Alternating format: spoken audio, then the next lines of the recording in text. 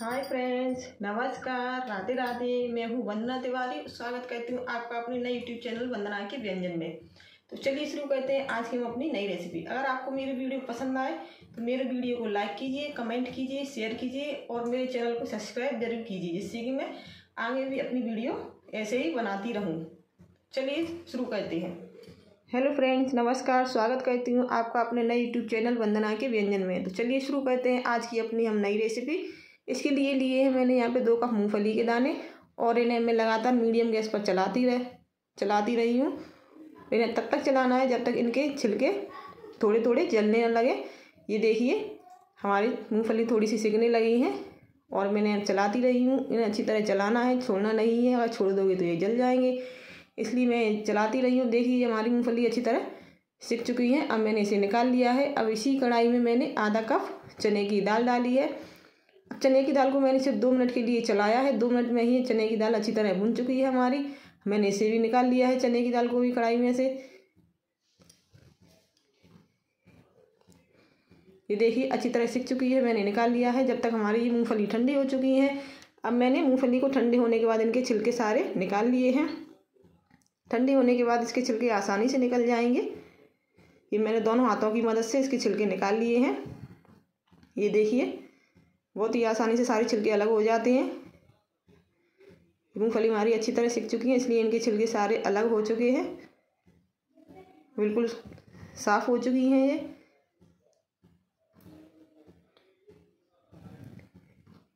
मैंने सारे छिलके निकाल लिए हैं मूँगफली के।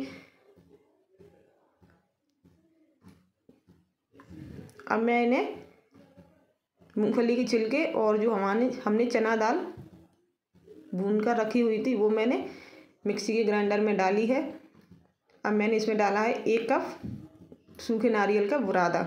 आप चाहो तो यहाँ हरे नारियल का भी यूज़ कर सकते हो, लेकिन मैंने यहाँ सूखा नारियल का बुरादा डाला है। मैंने दो तीन मीडियम साइज़ की हरी मिर्ची डाली है इसमें। आप चाहो तो यहाँ लाल मिर्च का भी यूज़ कर सकते हो। अगर आप मीठी ही, तीखी चटनी खाना पसंद नहीं करते, मीठी खाना पसंद कर सकते हो तो मिर्ची को स्किप भी कर सकते हो। मैंने ये सबको डाल के अच्छी तरह से पीस लिया है, ये देखिए। ये हमारी चटनी रेडी हो चुकी है। अब इसमें हम लगाएँगे तड़का। तड़के के लिए मैंने एक कढ़ाई रखी है गैस पर। कढ़ाई में मैंने दो चम्मच ऑयल डाला है। ऑयल को गर्म होने के बाद में मैंने इसमें एक चम्मच राई डाला, राई डाली है। राई के बाद में मैंने इसमें डाले हैं दस बारह कड़ी पत्ते, नीम, जो मीठा नीम होता है वो। अब मैंने अपनी चटनी को इसमें डाल दिया है। कढ़ाई में जाते ही चटनी थोड़ी सी गाढ़ी होने लगी है, इसलिए मैंने इसमें थोड़ा सा पानी भी ऐड किया है।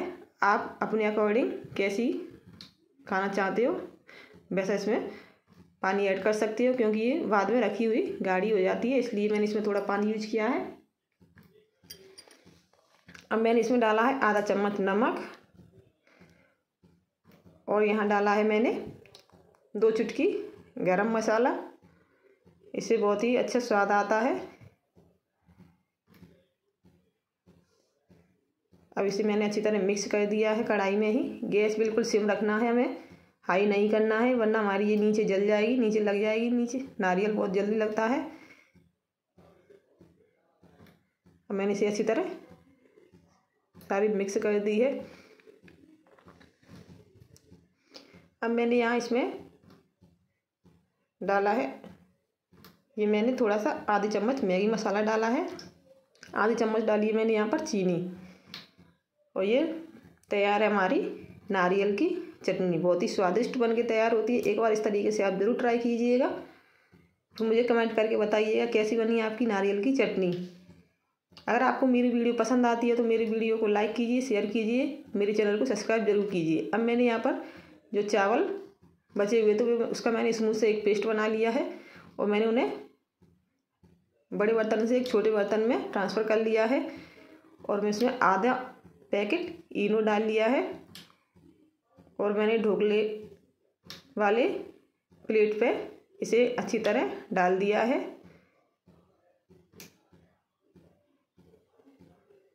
थोड़ा सा ऑयल लगा के मैंने इसे अच्छी तरह डाल दिया है, इसे अच्छी तरह सेट कर दिया है। अब मैंने ये अपने ढोकले के स्टैंड में मैंने इसको रख दिया है। इसमें मैंने थोड़ा सा आधा ग्लास पानी बॉयल करने रख दिया था। पानी हमारा बॉयल होने लगा है। इसके बाद में मैंने इस प्लेट को स्टैंड में रख दिया है। अब मैंने इसका ढक्कन बंद कर दिया है और मीडियम फ्लेम पर मैंने इसे दस मिनट के लिए ऐसे ही छोड़ दिया है। तब दस मिनट के लिए मैंने इसको छोड़ दिया है। दस मिनट के बाद मैंने इसे निकाल लिया है। उसकी भाप जब से निकल गई थी, उसके बाद में मैंने इसकी प्लेट को उठा लिया है और इसे चक्कू की मदद से चारों तरफ़ से इसको कट करके ये मैंने अच्छी तरह निकाल लिया है। ये बड़ी आसानी से निकल चुका है। अब मैंने इसके पीसेस कर लिए हैं। आप अपने मन चाहे सेब में इसे काट सकते हो। मैंने इसे लंबे लंबे शेव कर लिए हैं मैंने इसके। ये देखिए, बहुत ही अच्छा आसानी से कट रहा है। ये देखिए।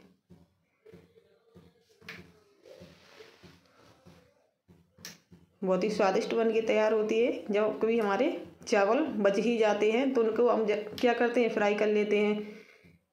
ये हमने नई रेसिपी बनाई है। आप एक बार ज़रूर ट्राई कीजिएगा इसे। अब मैंने एक कढ़ाई रखी है इसमें तड़का लगाने के लिए। और उसमें मैंने दो चम्मच ऑयल डाला है। ऑयल हमारा गर्म होने के बाद में मैंने इसमें एक चम्मच राई डाली है। नारियल की चटनी, ढोकला हो या इडली हो, बिना राई के तो कुछ टेस्ट आता ही नहीं है उसमें। राई के बाद मैंने इसमें आठ दस पत्ती मीठे नीम की डाली है, जिसे कड़ी पत्ता भी बोलते हैं। और इन सबको अच्छी तरह होने के बाद में मैंने इसमें दो बीच में से कट करके हरी मिर्ची डाली हुई है। ये हमारी खट्टी मीठी तीखी होने वाला है अब ये, तड़का लगने वाला है। और मैंने इसे सबको अच्छी तरह फ्राई कर लिया है। मिर्ची हमारी अच्छी तरह फ्राई होने के बाद में मैंने इसमें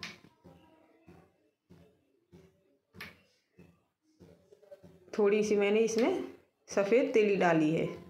सफ़ेद तिल आते हैं, मार्केट में अच्छी तरह मिल जाते हैं। मैंने वही थोड़े से डाले इससे भी बहुत अच्छा स्वाद आता है। एक बार आप ज़रूर ट्राई कीजिएगा।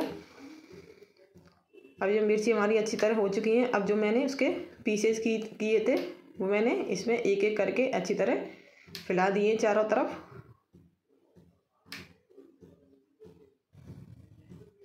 अब मैंने इसे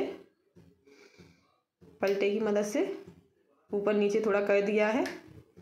इसलिए ये हमारा तड़का हल्के हाथ से ही किया है, नहीं तो चिपक जाएगा। तड़का पूरे में अच्छी तरह हमारा मिल जाए। और ये देखिए, बहुत ही स्वादिष्ट बन के तैयार होती है। ये हमारे बचे हुए चावल की रेसिपी बन के तैयार है। बहुत ही स्वादिष्ट जितनी ये देखने में लग रही है, उतनी ही ये खाने में भी लगती है। एक बार आप ज़रूर ट्राई करके देखिएगा। अगर आपको मेरी वीडियो पसंद आती है तो मेरी वीडियो को शेयर कीजिए लाइक कीजिए कमेंट कीजिए और मेरे चैनल को सब्सक्राइब ज़रूर कीजिए, जिससे कि मैं अपनी वीडियो आगे भी बना सकूँ। ये देखिए। बहुत ही खुशबू अच्छी आ रही है, बहुत ही स्वादिष्ट लग रहे हैं। देखिए कितने अच्छे लग रहे हैं। जितने देखने में अच्छे लग रहे हैं, उतने ही ये खाने में भी बहुत टेस्टी होते हैं। बच्चे भी इसे बहुत अच्छी तरह खा लेते हैं। इसलिए आप ज़रूर ट्राई कीजिए बचे हुए चावलों से एक बार।